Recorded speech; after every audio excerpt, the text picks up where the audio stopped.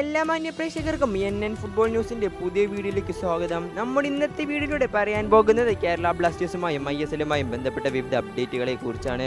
അപ്പോൾ നമുക്ക് നമ്മുടെ വീഡിയോയിലേക്ക് പോകാം. ഈ വീഡിയോയിലേക്ക് പോകുന്നതിന് മുമ്പ് നിങ്ങൾ ആദ്യമായിട്ടാണ് ഈ ചാനൽ കാണുന്നത്. നിങ്ങൾ സബ്സ്ക്രൈബ് ചെയ്യുക. സബ്സ്ക്രൈബ് ചെയ്തതിന് ശേഷം തൊട്ടടുത്ത് കാണുന്ന bell button all option enable ചെയ്താൽ മാത്രമേ ഞങ്ങൾ അപ്ലോഡ് ചെയ്യുന്ന ഇത്തരം വീഡിയോകൾ നിങ്ങൾക്ക് നോട്ടിഫിക്കേഷനായി ലഭിക്കുകയുള്ളൂ. അപ്പോൾ നമുക്ക് നമ്മുടെ വീഡിയോയിലേക്ക് പോകാം.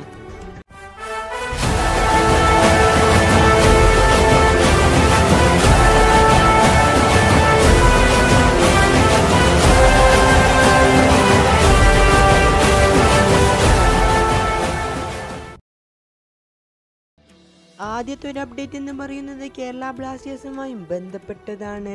Kerala Blasters F C versus Hyderabad F C മത്സരത്തിന് ശേഷം ഹൈദരാബാദ് എഫ് സിയുടെ കോച്ചായ മാനുവൽ മാർക്കസ് പറയുന്നത് ഇങ്ങനെയാണ്. കേരള ബ്ലാസ്റ്റേഴ്സിനെതിരെ എത്ര നന്നായി കളിച്ചിട്ടും കാര്യമില്ല.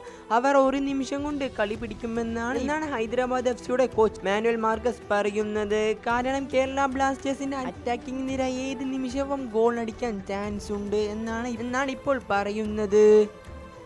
മറ്റൊരു അപ്ഡേറ്റ് എന്ന് പറയാനുള്ളത് ഇന്നലെ നടന്ന Mumbai City F C versus Bengaluru F C മത്സരത്തിൽ ബംഗളൂരു എഫ് സി മൂന്ന് ഗോളിന് വിജയിച്ചിരിക്കുന്നു.